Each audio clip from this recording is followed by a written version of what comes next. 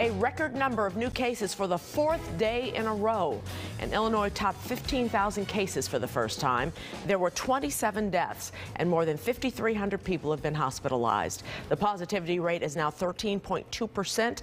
All but six counties are now at a warning, warning level. And Governor Pritzker is calling the exploding number of cases a crisis. WGN's Kelly Davis is joining us now with more on that. Kelly. Good evening, Ray and Micah. Illinois is on the verge of another statewide shutdown as the number of COVID 19 cases continues to climb.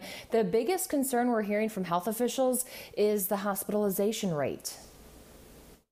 Yeah, they're awful.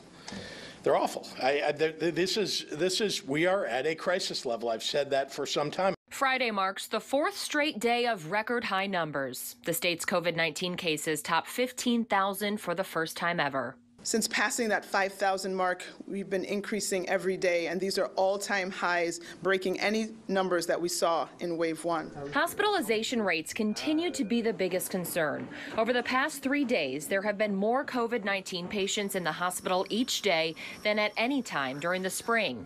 As of last night, more than 5,000 people were battling COVID-19 in the hospital.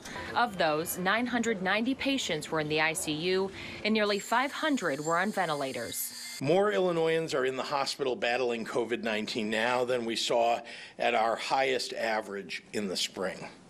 And increasingly, we have regions at risk for potential ICU bed shortages and staffing shortages. The state has seen projections that are worse than what we saw in the spring, although we are better prepared with stockpiles of PPE, better testing, and plans if hospitals reach capacity. Our hospitals are not overrun.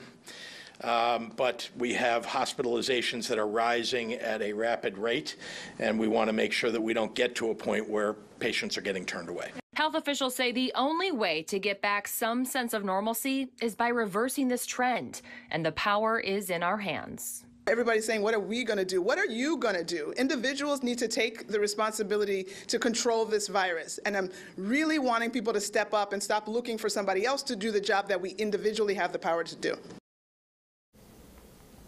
Governor Pritzker continues to warn the state could be headed for another mandated stay at home order in the coming weeks if we don't get the current surge under control, but it's still unclear exactly when or how he's going to make that call. Reporting live, I'm Kelly Davis, WGN News.